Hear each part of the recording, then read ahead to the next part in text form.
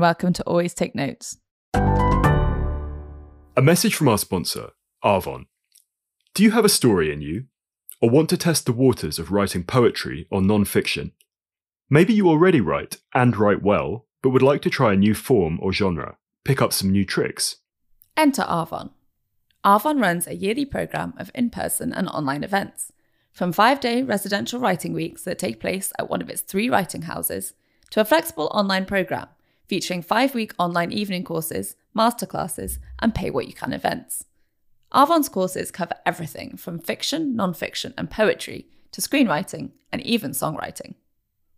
They've been running creative writing courses up and down the UK since 1968. In that time, their prize winning tutors, many of whom may be some of your favourite writers, have unlocked the creativity of over 100,000 people. Many have gone on to be published authors and career writers themselves. But actually, it's not about that. Writing with Arvon is about finding a supportive community of fellow writers, making like minded connections that last a lifetime. By signing up for a course, you don't just get an acclaimed author as your tutor, you also gain a writing group to bounce ideas off long after the course is finished. So, whether it's a cosy stay at one of their writing houses in Devon, West Yorkshire, or sleepy Shropshire, or a course you can do from the comfort of your sofa, Arvon works around your creative life. Visit arvon.org slash courses, that's A-R-V-O-N dot org slash courses, to learn more and give yourself the gift of writing. Hello and welcome to Always Take Notes. In this episode, we speak to the novelist Harlan Coben. We spoke to Harlan about his prolific career as a thriller writer, about his current collaboration with Netflix, and about his latest novel, Think Twice. It's a great episode. We hope you enjoy it. Welcome, Harlan, to Always Take Notes. It's fantastic to have you on the show. Could you kick us off with your new book, Think Twice? Tell us a little bit about Myron's latest adventure. Uh, Think Twice, the idea actually started with me when I read an article about uh, serial killers, uh, believe it or not. Um, weirdly enough, we have less serial killers now than any time since they started recording it in the 70s and the 80s and 90s. Not because we are mentally healthy, or Lord knows we are not. We are as crazy, if not crazier than ever before. But it's really hard to get away with it now um, because of phones. Everybody's got a phone. The, the hitchhiking is over. The uh, you record it eight million times a day on CCTV. So it's just very difficult to get away with it. So in my mind, I was thinking, hmm, how can I get away with it? And I don't like serial killer books, so I thought I'd bring back Myron and the gang and open up with um, in the very very beginning that uh, the the FBI comes to Myron and says, "We think we have uh, this killer, but it's a friend of yours who you eulogized and died three years ago. Um, so how could it possibly be? Is he still alive? Is he dead? And what's going on?" And that starts the ball rolling for Myron Win and the rest of the gang. And we saw that um, when you initially created the Myron character, you said he began as a kind of wish fulfillment, that there's overlays with, with your own experience, but he was better at basketball and, and so forth. But also that, that the characters have kind of divulged, and you said that you're, you're jealous of each other. Is that still the case? And how does that fit in with Think Twice? Um, yeah. So when I created Myron, I, I did it like you say, Blighters don't necessarily to admit it, but he was sort of me with wish fulfillment. He was faster, stronger funnier. He could think of that great line that I couldn't. Uh, braver, better basketball. I hadn't beaten two areas. One, I was a I'm a better dancer, which we can't demonstrate, thank God, on podcast. And the second thing was I was slightly wiser in the ways of women. This is not like two great shakes. It's sort of like saying syphilis is better than gonorrhea. We're not talking geniuses here, but um, I was slightly wiser in the ways of women. But I created a tension between us, and I don't know if I did it intentionally or not. But looking back on it, I hope I did. Um, one is that Myron has what I want in life, and I have what Myron wants in life. So Myron's whole dream in life is to get married and move to the American suburbs and have 2.4 kids in the garage with a basketball hoop hanging over it and barbecues in the backyard with his family. And so I can't give him that. Um, that would make him happy. And I have that in my life. So Myron is envious there. Um, on the other hand, my parents died quite young. I missed them greatly. Um, and so I thought it'd be interesting in a, in a, in a series like this with, with a sort of hard boilish detective, that he would have great relationship with his parents. So Myron's parents get to age and change, and they're in their 80s as this book opens up. Um, and the experiences that Myron goes through is what I imagine would be happening had my my parents survived. And so I'm jealous of him on that account. He's jealous of me on the other account. And I think that that tension has made the books better. Than they would have otherwise been. How has the character developed over uh, the books that he's been in, and, and particularly in Think Twice? How is he challenged by this accusation about his friend and client? Well, I started the first Myron book is almost 30 years old now. So I started Myron, and Myron's aged slightly slower than we have. So in the first book, Myron was probably around 28, and he's probably nearly 50 now. I'm not very specific with his age intentionally, but I do want him to age and change and grow. And it's not so much as I realized when I've written it. I, I also write the books in present day. So this book is 2024. It's not 2018. It's not 2012. It's 2024. And so the world has changed. And so the attitudes that you have toward it have changed. Things that were funny in 1994 when I wrote the first Myron book are not funny in 2024, or vice versa.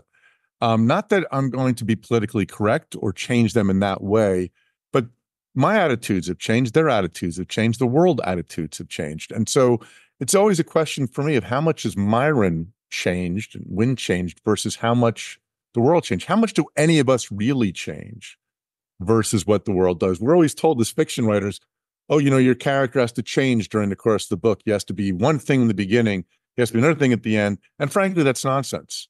Um, uh, whatever your favorite stories are, I guarantee you, your hero did not change. He may have overcome something, he may have learned something from it, but for the most part, um, we don't change, and that's some that's something that I try not to force on on a character. We saw you commented elsewhere that the fact that Myron is a sports agent was kind of incidental. You said, you know, you're not a huge sports guy that was just his job. Again, has in you know, in the time you've been working on that, has that developed or is that a, a constant as well? I, I, think it's a constant. When I started the books, I thought it would be a good hook. Number one, you know, I was not a, a big selling author. My first Myron Bolitar novel sold for five thousand dollars. And uh, to give you an idea, I don't want to brag, but by the fourth Myron Bolitar, I was up to $6,000. So it wasn't like an overnight success type of story. But what I did like about the sports world, I don't care who wins. I don't want someone to score the winning goal or any of that sort of a thing. But why we care so much and the microcosm for society, like, you know, we, we take these young kids and, and, and raise their fame and give them tons of money and we expect them to act rationally and we don't act rationally around them. Why do we care? I mean, it's not like, you know, Manchester City's coming to my job and cheering me on. Why do we care that they win? And so this was something I thought was interesting to explore. And I did that for a couple of books in the 90s. Now Myron is an agent. Uh, I thought he changed the name of his agency from MB Sports to MB Reps because now he represents ath- all, everything, uh, actors, whatever I want that world to be, because I wanted a bigger world. And I didn't want people to think these are sports books. They are definitely not. And how do you find the experience of writing a, a book that's part of a series versus your standalone novels? I, I, think in a previous interview you likened it to having a painting where some of the parts are filled in, um, and in some ways that's helpful, in some ways it's not. Could you kind of unpick that idea for listeners? Sure. If I'm writing a standalone novel, which is what most of my novels are, and if you watched Fool Me Once recently on Netflix, that was an, a standalone novel. I'm starting with a completely blank canvas. I have no idea. I'm facing that that that where I'm going to go. With Myron, I look at it as a much larger canvas, and some of the stuff is already filled in. But that stuff that's filled in, I really love and inspires me in a, in a, in a different way. The actual writing process is pretty much the same, and I always think that a Myron book is going to be easier to write because I already know Myron. I already know the voice. I know Myron. I know Win. This book has actually three first person. Win a little bit. Most of it is third person. Myron. Some of it is second person from the killer's viewpoint. Um, but it never gets easier. I always think it's going to be easier that way, but it really isn't. And could you tell us, using the example of this book, how you know writing a book or your latest book fits with your numerous other commitments? So your work with Netflix, these other arrangements with streamers and broadcasters. You, are working on a on a year time frame, but how, you know, when when and what are you doing what during those twelve months?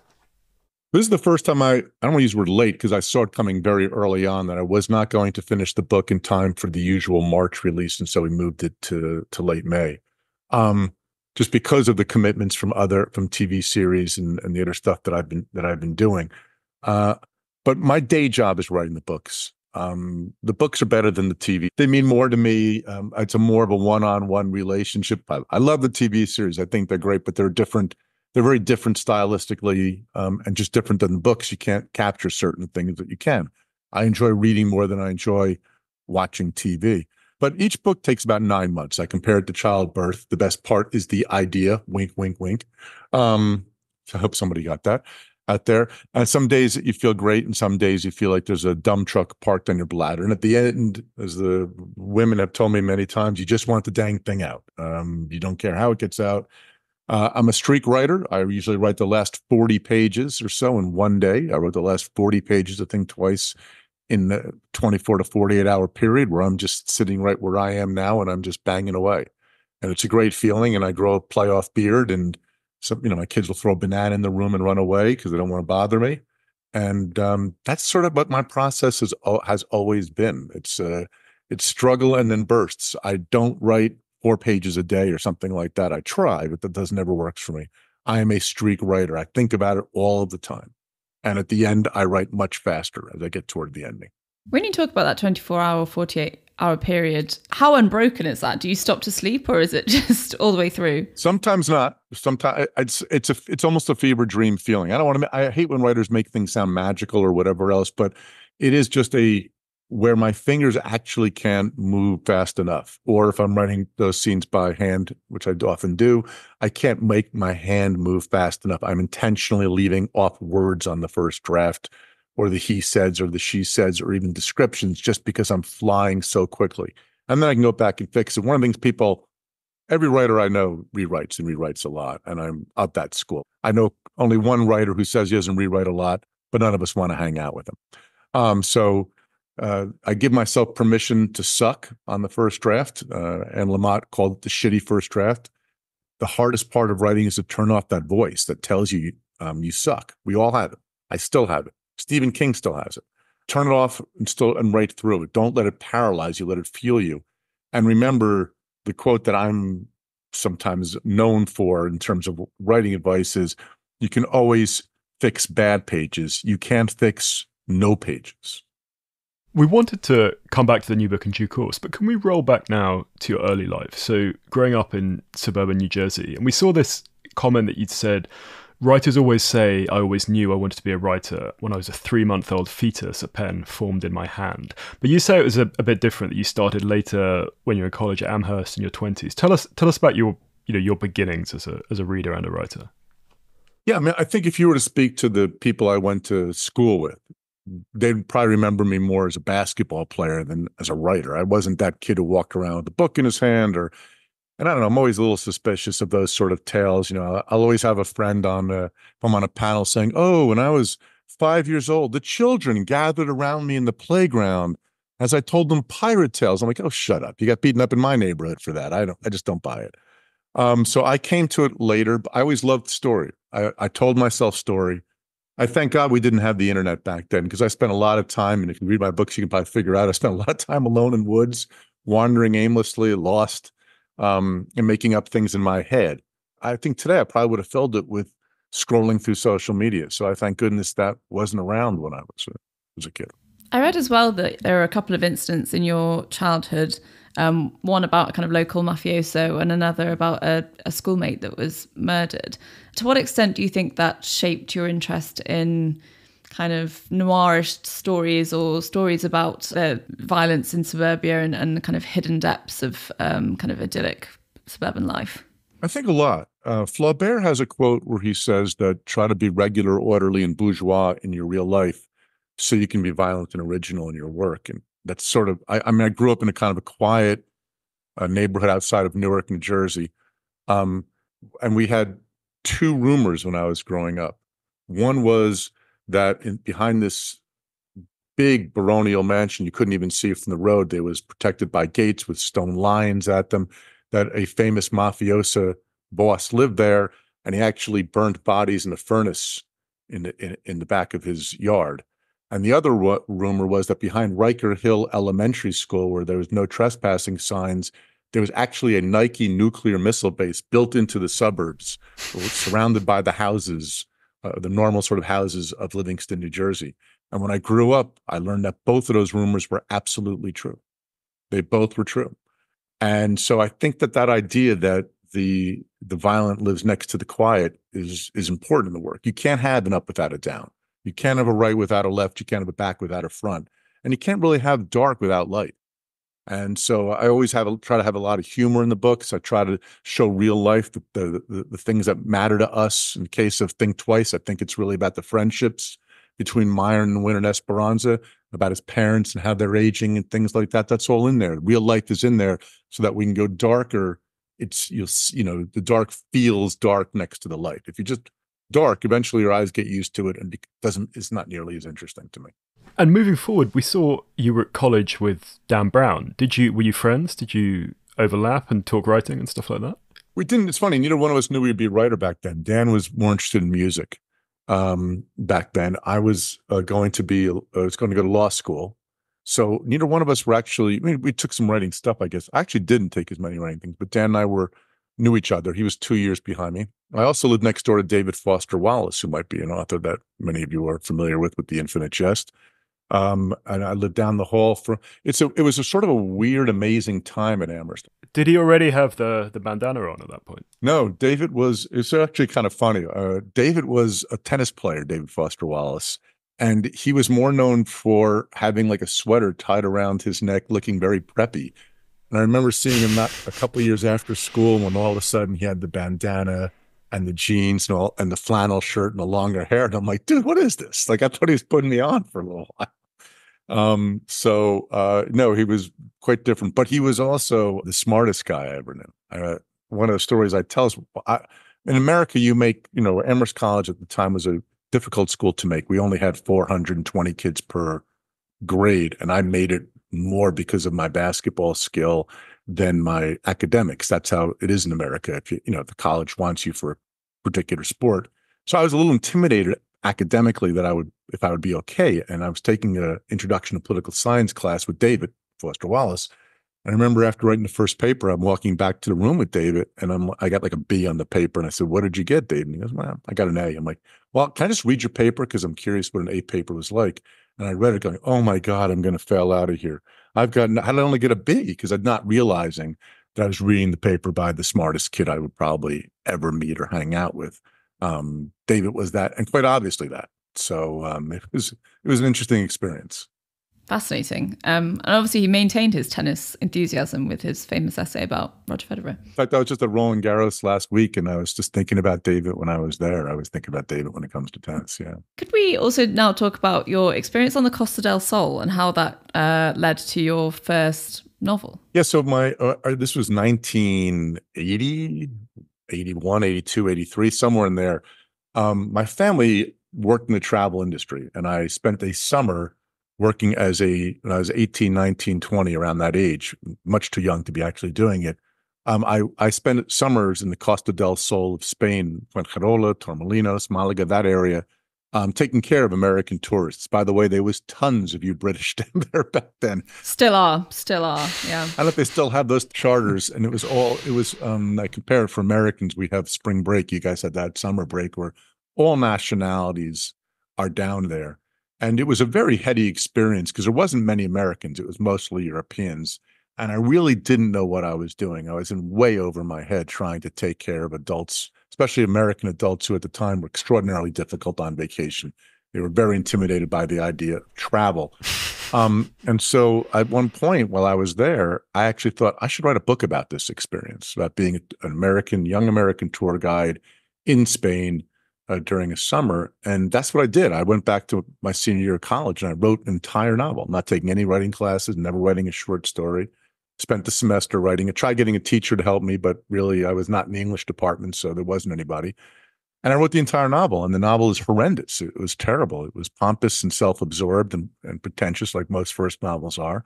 But that's where I got that virus. I, I really liked the idea of writing. And then I decided to write what I love, which is what I call the novel of immersion. You know, I want to think twice to be the book you take to bed tonight at 10 o'clock. Think I'm only going to read for 15 minutes. Next thing you know, it's four in the morning and you're sort of delirious because you've been reading up, staying up all night reading. Could you tell us then, after that um, initial attempt, how things move forward, and particularly with Play Dead, your your first published book? And we're really interested in the podcast to hear about how writers got their first break. So how they went about getting representation, how they got a publishing deal. Take us take us back to then and 1990 when it was when you were 26 and it was first released. So uh, I wrote that first book. I think I and part of it I don't remember all that well, but I'll try to give you as much as I can. So I, I wrote that first book. I was probably 21 or 22. I then wrote two or three novels that will never see the light of, light of day. I think that's really important. I think that today we think that our first novel should be perfect and a hit, and I don't know why to use a sports analogy, I get the talent of Michael Jordan. If I've never played basketball before and I go on the court, I'm going to get my butt kicked by everybody. I don't know why we think writing should be different because we can actually do it all. Um, so I understood even then that this was training for me, that each novel I wrote, even if I spent nine months on it, was the best training that I could get. Um, eventually, with Play Dead, I think I was 24, I was 25, 26, so maybe it was two or three books later. And I sent it to a friend who was, well, a friend. She was a resident counselor at Amherst College when I was a student there. And I sent it to her basically, um, she was working for a very literary house and the book was commercial, but I wanted her take if she could on it. Um, uh, and so she, she, I, gave, I sent to her. I did not have representation at the time or anything like that. And um, a couple weeks later, she called me back saying, wow, we want to move in a more commercial direction. This is just perfect for us uh, we're going to pay you $1,500 and buy it. And that was one of the happiest days of my life. So breaking in was actually not that hard for me. It was making the next step, having the steady career. Um, I would I would say I was ambitiously incremental, or incre- I had incremental ambition, and that is when I first started. My whole dream in life, my whole goal was if I could just have one book published. That's all, just one book published. And it was like, okay, two, Two books published just to show it wasn't a fluke. Okay, if I could scratch out a meager living, just, you know, so I'm not completely pathetic. Okay, if I could just skim number 15 on the New York Times bestseller list just for like an hour, just skim 15. Okay, if I could hit the top and then eventually, oh, if I could hit one. So all of my ambition was always incremental and somewhat realistic. Um, it took a while for me to get there. My first New York Times bestseller was my 10th book. And again, not to be this, oh, kids today, but I get emails from people saying, you know, I've written a self, you know, I've written a book that I self-published myself. Why aren't I selling like you and James Patterson? Yeah. You know, it, it, it should take a while. You should be getting better at this, hopefully. Um, and you should be able to put the work in and, and want to do it and not, you know, uh, publishers also are more difficult now. They expect that immediate hit um, or they move on uh, publishers were, were, I think, more patient um, when I was coming up. When you talk about those early novels that aren't going to see the light of day, um, can you identify, looking back now, why they didn't quite work or why those experiments were helpful to to kind of undertake but didn't cohere? I think that you know they're probably not as bad as I think. So I'll give you when I wrote Play Dead and Miracle Cure, which were my first two books published by the small publishing house that I just mentioned, they went out of print. And for years, I would not let them back into print. I was didn't like them. Um, and then uh, the, uh, my French publisher really pushed me to do it. And I said, I'll tell you what, we can put those two back in print. But if we do that, I want to put a letter in the front, which I have. If you read the books now, you'll still see the letter in the front, which basically says, Dear reader, these aren't very good. These are my early books. If you're a completist, go for it. But otherwise, I would put this book back on the shelf and start with something else, which I don't know any other writer who has done that before. My publishers were upset about it, but it's discouraged nobody. In fact, I think it encourages people to read it. But part of that is that I'm very hard on it. But we all are. Like if I ask both of you to tell me about your early podcast that you thought was so brilliant, or your early writing that you thought was so brilliant when you were in college, right? And you find that essay now and you thought, wow, this is great. And you read it, go, wow, this was crap. I was wrong. Uh, that's part of the same thing with novels, where part of it is, what did that stupid kid know back then? Um, but they're not necessarily that's not necessarily fair. They are probably interesting in what they do. Um, but I was over the top. I didn't have, you know, there was there was there was a lot less, I think, subtlety back then. I didn't know. I, I just wasn't as wise. So I don't think the books are as wise. But then every once in a while, I get an email that will say, "No, no, Play Dead's the best thing you've ever written. Stuff now is crap." So who knows? You know, you just have to put the things out there and and sort of be brave about it.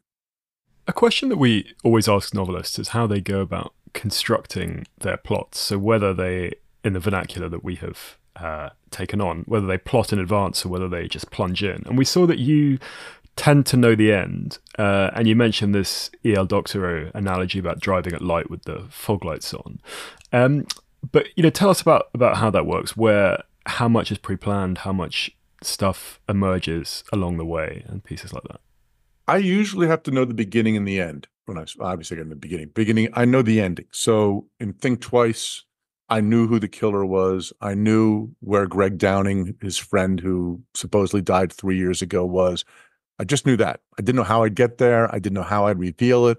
I didn't know what would happen in Myron's personal life. If people watched recently on Netflix Fool Me Once, that started with I, the idea of a woman sees her dead husband on a nanny cam. And then I knew, as crazy as that ending might seem, I knew that ending before I started. I knew it was going to happen to Maya, and I knew why that she saw that on the screen um, before I wrote page one. But how I get there, I don't know. I compare it to journeying from my home state of New Jersey across the U.S. to L.A. I may take Route 80, I may go via the Suez Canal or stop in Tokyo, but I always end up um, in LA.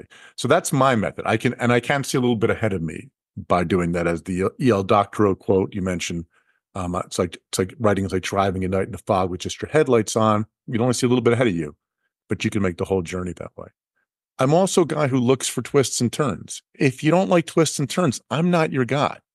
If you want a sort of straight ahead narrative, I'm just not your guy, and that's okay. We can all we can both move on with our lives. It's fine. Um, but I love twists and turns, and I'm always looking for ways of defying your expectations, of taking something you think you've seen before, and and that's not easy in today's world. Here's my challenge, um, and so far it hasn't happened. You're not going to guess the ending of Think Twice. You're just not. No one I you may guess it, but no one's figured out really sort of the ending of Think Twice. But that's not enough for me.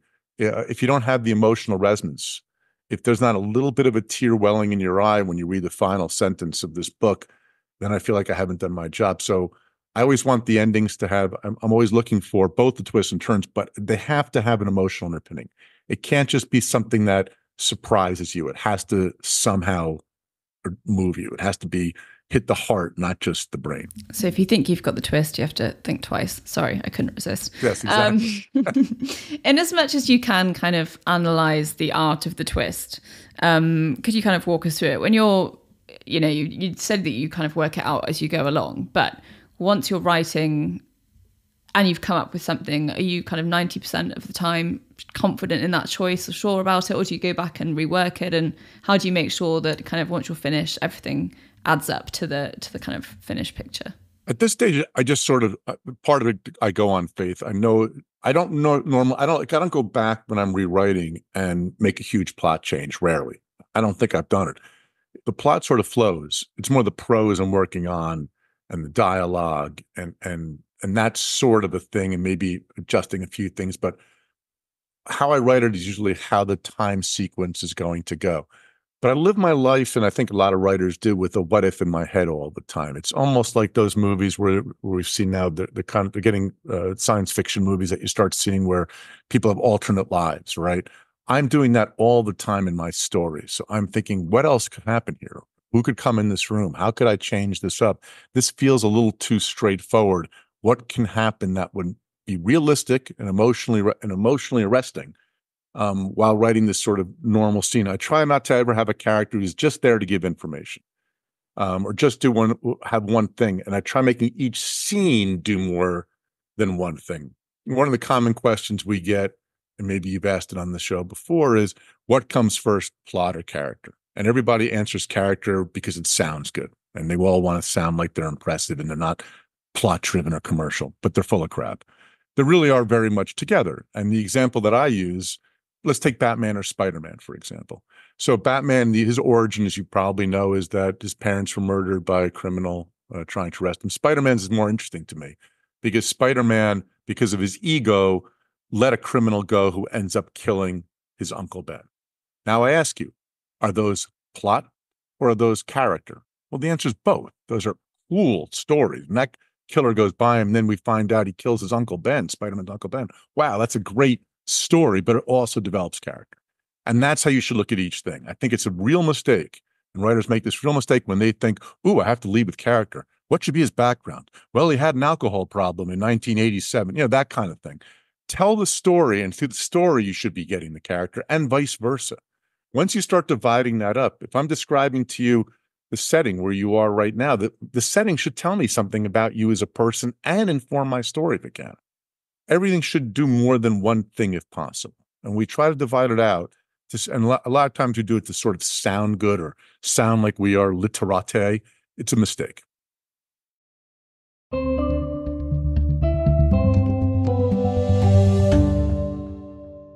We are thrilled to announce the publication of Always Take Notes Advice from Some of the World's Greatest Writers.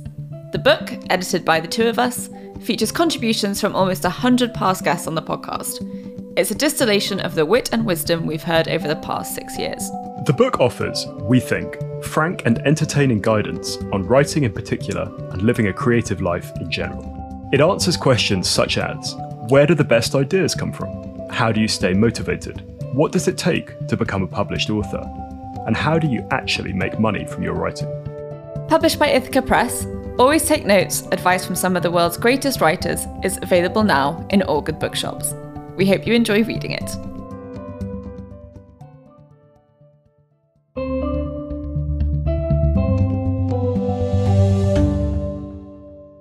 And in terms of physically where you are, when you're writing. We saw you had a stint in the back of Ubers. Uh, you've written in planes. You had a stint uh, standing by a bread counter so that you smelt of olives. I mean, what what is this kind of nomadism while you're actually working on a book? Where did that come from, and what role does it play in your process? So, uh, like you say, if you if you ask, and you guys have, you ask ten writers how they do it, you get eleven different answers, don't you? Uh, which is kind of fun. So, like my friend John Grisham has a little cottage behind his house. He goes to the same time every morning. He has no internet there. Um, that that hasn't worked for me. Part of it is also that um, it's a little different now. I have I have four ch- kids, and most of my writing, in fact, uh, the first day I hit the New York Times bestseller list was when my fourth child was born. I had a seven, four, two, and newborn in the house. So you learn to leave the house to write. Um, part of it was that to escape them. Part of it is that there's too many distractions at home. You will use any excuse not to write, which is the danger of the internet, the danger of having a phone nearby. But if I go out, especially back in those days when maybe my house had internet, but coffee shops didn't, it helped. Um, it you know, otherwise I'll be sitting here, yeah, I'm gonna write, but first maybe I should, you know, fix the sink that has a leak or whatever else. I'm terrible handyman, but I'll do anything, anything to avoid the moment when you have to face a blank page or a blank screen. So leaving the house, putting myself in a different circumstance, just help with that. Um, I will change up anything. You know, you, you, like athletes will wear the same socks if they're winning. I'll keep doing the same thing while it works that I'm writing, and as soon as it stops working, I will look for something else. You used mentioned the Uber example. So I got in the back of an Uber for the first time. This when ride sharing was first starting. It was a book called The Stranger, which maybe some of you also saw on Netflix. And um, I felt guilty about spending the money to Uber into New York, but I was trying to justify it in my head. I took out my pad and I started to write, and I wrote really well. So for three weeks, I took Ubers everywhere I went and finished that book in the back of an Uber.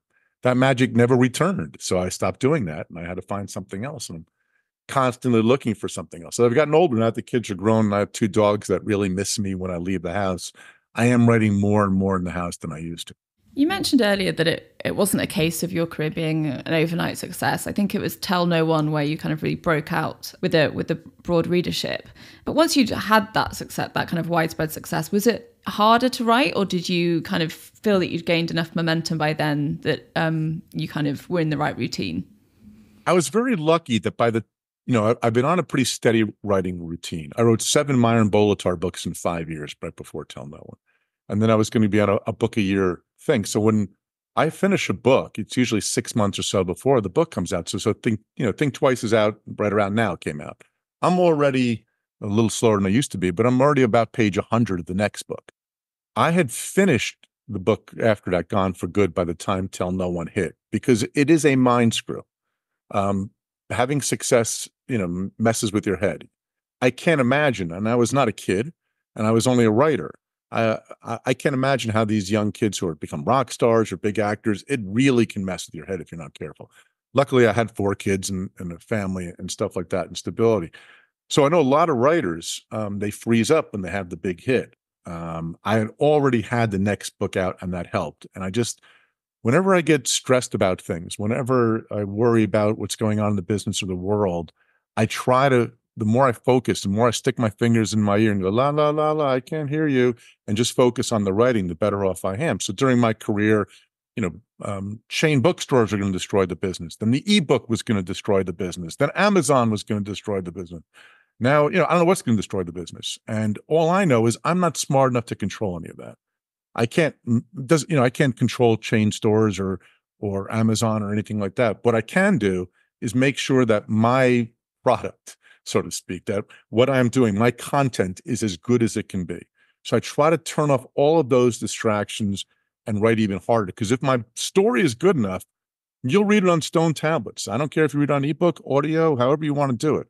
I have to make sure that my story is as strong as it can be. And so, you know, you become one dimensional, but I think it's healthy for a writer to be a little one dimensional in that way. Another question that we put to everyone on the show is about money and how it's interacted with their writing lives. So be as, as candid or as guarded as you're comfortable with. But at what stage was it clear that you could make a living doing this? And at what stage was it clear that you could make a lot of money doing it?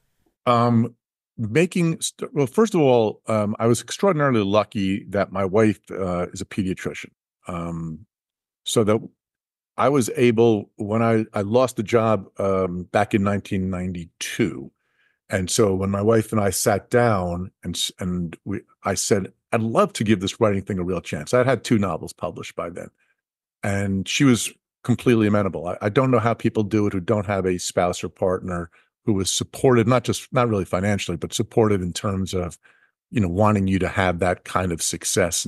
Um, so I, that's how that's how I sort of started doing it, and then I was able, almost like I mentioned before, I was able to scratch out a little bit of a living. Um, and then tell no one was life changing overnight. It it changed everything in terms of uh, the financial situation, pretty much overnight. And I signed a, a new three book deal not long after it came out in 2000 in the fall of 2001 that was life changing. Um, and so that's that's the answer to how it sort of happened. I was, you know, I, I it wasn't like you know I was kind of going like this, uh, up, up straight up, sort of a straight up pattern. It was all of a sudden, boom, um, you were on a whole different level. It, it's part of the problem with the industry, I think, in some degrees, and this is true of most artistic endeavors, it's feast or famine, and the difference uh, was was was striking. We had um, David Baldacci on the show a few years ago, and he talked about renegotiating his kind of contracts and deals once he'd hit the big time to do more of a profit share rather than um, kind of royalties arrangement. Is that something that you've been tempted to do, or have you kind of stuck to the same format throughout? I'm not smart enough to know what that is. but David and I have the same agent, uh, and I assume we're doing pretty much the same thing. Um, but you, you know, one of the things, and this is this is sort of deep in the woods, that uh, writers are convinced they have to have um, they have to earn out, they have to have their royalties have to make sense, and that's sort of nonsense. Um, so if a royalty is ten percent, um, a writer really should be getting more like 30 or 40 or 50 percent. I don't know the exact numbers, but the publishing world kind of convinces you that you have to hit that 10% um, to earn out, and you really don't. Um, it should be you should be getting a bigger share than that 10% uh, of your book. So they do it through advances um, and things like that, and that's how the system more or less works. Just to explain what, what David told us, because it is fascinating, is obviously that he he had a legal background, so he kind of knew how all this stuff worked, and he when he it kind of went up an order of magnitude, he yeah stopped completely moved off the royalty model and instead went to a straight revenue share model, so that the the kind of amount for the book was on the table, and um, there's then a 50-50 split between publisher and um, and writer. And the way he phrased it was, in his view, that no one should make more money uh, from a book than the writer himself. But he was also open about the fact that like you know there were years of work that had that had gone into this. Um, I just wanted to, to move forward now to the question of um, adaptation of your work. And we saw that there seemed to be, or you'd had a kind of changed perspective over time. So we saw this quote from 2003 where you described Hollywood as you drive into a desert with a barbed wire fence, you throw the manuscripts over, they throw the money over, you run and they run. But then, you know, and, and also that a publisher had warned you about Hollywood, mentioning Chandler, Scott Fitzgerald, Faulkner, the experience of it crushing writers. But then that you felt that Netflix worked differently. So you could tell us about that, I suppose, journey really from from a an arm's length arrangement to a much more collaborative arrangement. I, I, I earlier on my career was trying to sell my stuff to Hollywood the way the same way we all all writers do, and we were always told not to get involved, and I think that was wise advice. When Tell No One became sort of a big deal, all of a sudden Hollywood wanted to fly me out to pitch meetings with people, and I remember taking a bunch, some very fairly well known names that wanted to hear what my next book was about, and I walked out of every meeting going, "Oh my God, they loved it! They're definitely buying it," and then you would never get a phone call. And the wise publisher at the time, uh, a woman named Carole Baron, who was I was very, very close to, sort of pulled me aside and said, I'm telling you, you're going to get lost in that world and you're, you're going to forget to write your novels. Just focus on your novels. And I've learned in my life that if I focus on my novels, good things happen. If I don't, bad things happen in terms of your of my career. So I went back home and really said, I'm just going to dismiss that. I'm going to forget it. Every once in a while, I, I will sell it. Um, and uh, I still tell no one in the end after being in Hollywood for a number of years to a French director named Guillaume Canet who made an excellent film out of it, um, which was just something that I felt, I just felt in my gut was going to work out better because I hated what Hollywood was sort of doing with scripts. It wasn't until I sort of became more comfortable in my position and I had had a number of number one New York Times bestsellers that I was more open to the idea of actually getting involved um, I, I always thought I could possibly do this and, and, and try it. And I found some good partners who I could do it with. And we had immediate success with it. And so success breeds more success. And that's what opened up that world where I was heavily involved um, in the adaptations. In the case of uh, your country, um, it was a lot with Nicola Shindler, who ran at the time a company called Red Productions, now runs Quay Street Productions. And Nicola is responsible for shows like Last Tango in Halifax and Happy Valley and Queer as Folk and all the shows that I've done. And we met, and she wanted to, at the time, uh, she wanted to buy one of my books, which that book wasn't available. But I said, I had this idea that I've been wanting to make in a TV show. And 10 minutes later, Sky had bought a Harlan Coben's The Five, as they wanted to call it. And we were on our way. Uh, and it's been a, a wonderful collaborative experience with Nicola Shindler and Danny Brocklehurst and Richard Fee. I call it the Core Four. We've made the Five, Safe, The Stranger, Stay Close, Fool Me Once. And we're filming right now two more, Missing You, uh, which will be the next one on Netflix, and a show called Lazarus with Bill Nighy and Sam Claflin, which we're going to be on Prime Video. Uh, so I was lucky to find them. And then other countries found it too. And uh, Netflix said, I sell more books overseas than I do in the US. Let's make it filming right now, Netflix Argentina. We did The Innocent Netflix Spain with a great director. We've done Netflix Poland, and it's been incredibly exciting and fun. I don't know if I would have been able to handle that 20 years ago. Um, I'm more confident in myself, and you know, a writer spends a lot of time in a room. We, I am a socially adept introvert, but it's actually been um, empowering and energizing. That I was just in Manchester not long ago. I was on set for both of the shows, Lazarus and Missing You, I mentioned, and I love being there, talking to the actors and the crew for three or four days, and then all I want to do is get back here and lock myself in this room and start writing. So, you know, they feed off each other in their own way. So, what have you learned during that process of how you turn a novel of immersion into a TV show of immersion? How do you make something gripping that's gripping on the page, gripping on the screen? The first thing is to accept that they're different. This is one of the complaints that I will get from my readers is, "Oh, that's very different than the book." And I'm like, "Yeah, it should be." The worst adaptations, I think, stay slavishly devoted to the text. When we were doing The Stranger, for example, in the book, the Stranger character is is a male computer nerd. And so there's an opening scene when the stranger drops this bomb on Richard Armitage's head about his wife faking her own her pregnancy. And visually, it just it didn't work with a, another guy. And I said, I was the one that said, I think we should make the stranger female. I think we should make her sort of cool and hip. And we had we hired Hannah John Kamen, who killed it, you know, killed it as that character and just was next level cool and you wanted to hang with. And that's what I mean. It just in a book, it's fine. Things work well in a book, but they don't necessarily work well on screen. So you have to be very, very open to making those sort of changes. Um, and it's just having a nose for a story. The, the, the biggest difference is, is it's a collaboration. So I look at the TV series. So Fool Me Once, for example, when it came out, when we hit all kind of we hit one or whatever else it was, we celebrate as a team. It's like it's like I'm, I feel like I'm captain of a World Cup team. We just won the World Cup. I don't care who scores the goals. I don't care who makes the great pass. I don't. We I as long as we win, I don't care, and I want to celebrate. It's a great time to celebrate with everybody else. when it comes to the other thing, a book, well, I was just at Roland Garros. I feel like I'm a tennis player. I'm alone on that court. I may have a couple coaches yelling from the box, but in the end, I have to win the match or lose the match, and I celebrate by myself, and it's up to me. And so they're very, very different feelings. And I'm, I've been lucky that I've been able to experience both, which is, you know, I, I don't forget how lucky I am to be where I am. And this huge profile that you have in France, I mean, there's the adaptation of Gone for Good, but we saw that your agent had said that you are one of the biggest contemporary writers in France, period. When did that happen? And do you have any sense of, of what drove it? T- uh, tell no one. Uh, both the book, the book immediately exploded out there. I don't really, you know, other than being a, a, book that resonated with people. I think it's, I think it's what I was sort of saying about Heart before. Um, the French caught on early that it wasn't just a thriller with fast moving plot that, you know, that you really cared about those characters. And I think that's why they made it a better movie. Um, Hollywood, frankly, couldn't understand the idea. The story is a man loses his wife. She dies. She's murdered. And he can't move on with his life. In eight years pass, he gets an email. He clicks a hyperlink. He sees a webcam and his dead wife walks by. Right? That's gripping. That's a cool idea. But Hollywood was kind of like, well, didn't he fall in love with somebody else in those eight years? Um, can we have him having dating somebody else? Maybe three years instead of eight years. The French immediately got it. Francois Cluzet was just brilliant. Like he was just destroyed.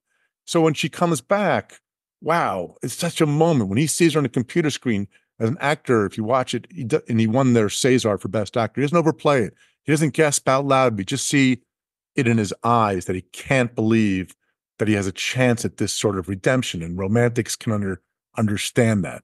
Hollywood sometimes can't. Hollywood Hollywood actually wanted to give him a girlfriend so that when she came back, it was a love triangle. And I was like, look, you can change everything else. I'm willing to change. You can move it to destination from where it was in New York to Paris as we did. You can change his job. You can make it different years. But the whole idea is that this man lost his soulmate and he can't move on. That's the heart. That's the part that you everything else you can change. And that was the part they couldn't quite grasp. Did you? You must have had to just laugh at that point. It's like the, you've kind of missed the entire point of the the plot. Yeah. Look, every writer you've probably had on has their whiny story about Hollywood, so I don't want to necessarily contribute to it. I do think a lot of times the people have the best interests at heart. There's two things out there.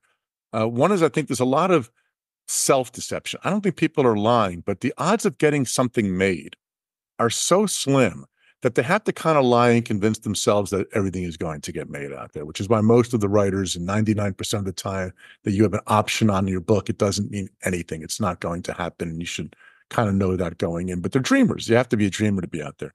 But the second thing is is exactly that is they they start to question things too much. And so I remember how their mind frame actually worked because they were sort of telling me it's like, well, eight years, that's just too many. Can we make it three years? Okay, you can make it three years.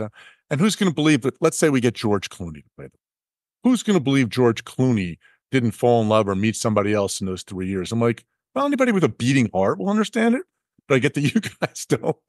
Um, and so that was why I had the option after three years of taking the rights back. And I had this crazy French guy named Guillaume Canet calling me all the time on the phone. And when it became, I promised him if it ever became open and he could match the option money, uh, which was a lot for France, um, I would I would do it. And yeah, everyone told me I was crazy to do it, but it was uh, it was the right move, and it was a it's a movie that you know still people watch today and are still proud of today. So um, yeah. With other novelists who've sold in enormous quantities, so people like David Baldacci, who we mentioned, but also Lee Child. We've asked them and had some really interesting answers about how their um, relationships with quote unquote literary writers or the literary establishment works. And a sense that there can sometimes be a kind of two way envy um, about respectability and about money, but also Lee Child said actually he felt that the you know the literary writers who were really at the top of their game were very welcoming and warm to him, and that it was it was kind of people lower down that who were who were difficult. I mean, how has that part of the piece worked for you? I'm going to agree with Lee on that. Um, you know, David David Foster Wallace used to read me and we used to talk about it. I remember David one time at a reunion at Amherst College saying to me when he's he said, uh, "You know how to end a book? I just keep writing." Like he's writing Infinite Jest at the time, which was I don't know over 1,200, 1,300 pages. Um, so I've never seen that Exactly. I've never seen that from successful literary writers. I've never seen that sort of envy or jealousy of the or looking down upon. I only see it from the frustrated artist, the person who thinks that I will be there if it wasn't for those damn gatekeepers or people not really understanding what a genius I am. Um, that's what you know the, the the undiscovered genius of me. Those people, I think, are always in trouble as writers. Um, anyway, so I think I'll you know I'll agree with my with my pal Lee um, on that. I haven't really experienced it that much. The truth of the matter is, every writer you've ever had on the sh- on your broadcast has wants two things: uh, more book sales and better reviews. That's human nature. We all want that. I, know uh, Philip Roth, uh, my favorite, one of my favorite writers of all time, uh, an employee at a Barnes and Noble here in New York used to tell me Philip Roth used to come in and turn his books face out. Philip Roth, in his you know 70s and 80s, was still doing that. So he cared about sales, and he you know so everybody care. I I I hate when people pretend that they don't. That's the part that sort of drives me crazy. They you know, the the writer who thinks they're too important, or the one that says, "Oh, I, I'm only into character. I'm writing my favorite. I'm writing literary crime fiction." Well, that's bullshit. You're writing crime fiction, or you're not. Don't give me this literary crap. What you're trying to say is, I write better than everybody else. You don't. We'll see. Don't have to define it as literary. Let it come out and see how other people define it. I like that very much. Um, it's we're coming towards the end of our time, so it's a final question from me. Um, you mentioned earlier having incremental ambition and kind of constantly re- readjusting what you're aiming for. I mean, now you've got, you know, 80 million, I think it is, books in print. You know, the adaptations have been watched by hundreds of millions of people worldwide. How are you adjusting your expectations or aims now? And, you know, what, what's that kind of left to, to shoot for? What pushes me is, oh, I'm, I'm self driven. I always, I just want to write a better book each time. I want to do a better TV show each time. That hasn't changed. You know, people will say, oh, with the success, it must be more intimidating to write. Well, no it was more nerve wracking when I was hoping to just get another book deal or hoping to somehow make a little bit of a living. That's pressure. This is not pressure. Or as my friend Billie Jean King says, I love name dropping friend Billie Jean King, but uh, Billie Jean King says that pressure is a privilege. I love that. Pressure is a privilege. So bring it. When the new show comes out, I know Netflix has spent a lot of money on it or Amazon Prime. Bring it. I can take it. I, I look forward to that and I thrive on that. And the luck, it is a privilege. The luck that I'm able to be able to do that is not something, you know, Think Twice just came out, right? And so people are going to walk into bookstores and there's thousands of books to choose from. The fact that you might choose mine is a responsibility I take really seriously. If you read it and are disappointed, I'm bummed. It doesn't matter how much money I made off of it or whatever else. I'm I, am i am disappointed in myself. I want to capture you. I want you to think, wow, I'm so glad I spent the time reading that book. And so that's always what has driven me, and that continues to drive me. I, I don't, I've never chased the dollars. I've always chased the readers' hearts. But by chasing the readers' hearts, the dollars follow. If you chase the dollars, you're going to lose them anyway. It's like trying to hold water in your hand for a long period of time. So I always want to write the best book that I can, and everything else will fall into place. And a final question from me: You signed your uh, Netflix deal in 2018, which I suppose was approaching the kind of high watermark with streamers, with excitement and investment and, and things like that. Do you sense that there's been any kind of sea change in that market in the years since? And how do you see things in that industry going forward? For me, I don't think it's changed very much. I think that we've had the success that we've had, and we continue to right now. I think other there's other shows that are probably having you know more difficulty or less difficulty, um, depending on, on what they are and these are things I was sort of talking about before with the la la la la. I stick my fingers in my ear. I don't know. I am working on making sure every show that I do is something different and better than the one before. Um, I try my best at that. It's harder to control a, a TV series as opposed to a book, but I love the you know what, what's going on with them. Um, and I don't really say to myself, "Oh, well, streaming is in, streaming is out. This one's ABC's doing well, or this network is doing well." Um, Netflix is is tremendous. They're a, they're mammoth. Their their numbers are staggering. How many people watch and care about Netflix shows? And so I'm thrilled to be part of that. I'm thrilled when I work with other networks too. But again, I and I have no idea uh, what I think that's a fool's game anyway. No one ever gets it right. No one ever predicted what was going to be what we'd be talking about. Whatever we're talking about in today's news cycle, no one predicted any of this. Everyone gets it wrong. So I, I think it's always a, a, a, foolish thing to try to predict what's going to happen. I, th- I think it's a mistake as an artist or as a creator. I just have to focus on what I know best, which is telling the best story I can. If the marketplace changes and my stories are no longer relevant, hey, I gave it my best shot, but I can't fake it. I'm, I'm going to tell a story that I love. And that's the best chance I had at success. I'm not going to be able to control if streamers are going to be big or we're going to move back to network. I don't, I just don't know.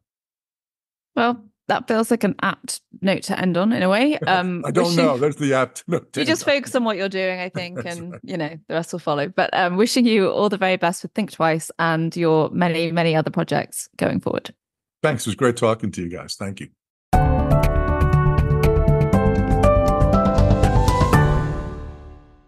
That was the Always Take Notes interview with Harlan Coben. He's on Twitter at Harlan Coben. He's on Instagram at Harlan Coben.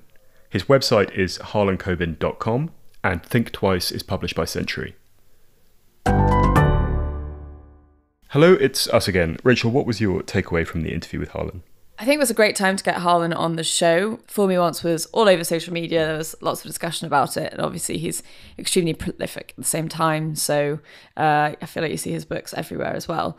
Um, but beyond that, um, I just I found it a really interesting conversation, um, particularly that extraordinary crop of peers at Amherst and then the early missteps through to the Hollywood adaptations and the and the misadventures I particularly enjoyed the story of the executives kind of missing the point of the book entirely.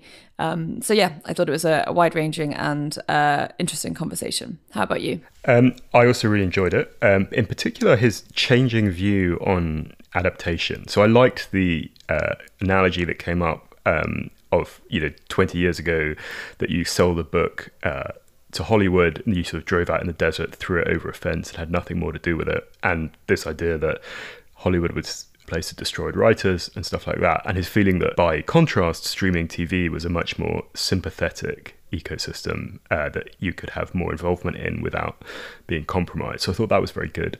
Um, I also thought just his um, his kind of candor about the important role that his wife played in his career and saying that you know that she was supportive financially, but also just you know she was behind the project and she had a she was a doctor, she had a steady job, and I thought it was um, you know admirable that he was sort of open open about that. Um, and I also think, you know, this is, you know, we've had a number of these extremely successful thriller or relatively commercial novelists on, and I think they're really good guests because we try and ask them, you know, serious questions about their work, and they tend to respond well about it. And so I think it's, um, you know, it's very good interviewing them. Anyway, uh, Rachel, what have you been up to, and what have you been consuming? Uh, just to your point about spouses, I think yes, the the, the labour or um, the work that is often unsung. It's nice on this podcast when when people do uh, sing it, celebrate, celebrate, yeah, sing it, celebrate it, um, draw attention to it. So yeah, I agree. Um, what have I been up to? Um, watching the Olympics mostly. Um, that's been that's been fun. I enjoyed the is it the road biking that was quite thrilling yesterday. Um, but in terms of consuming, I've just started a book that's coming out in September by Sonia Purnell. I loved her last one, um, A Woman of No Importance, which was about um, a resistance fighter, an American woman. Um, and her new one is about um, Churchill's daughter in law, who became very influential um, sort of as a diplomat and in various other ways.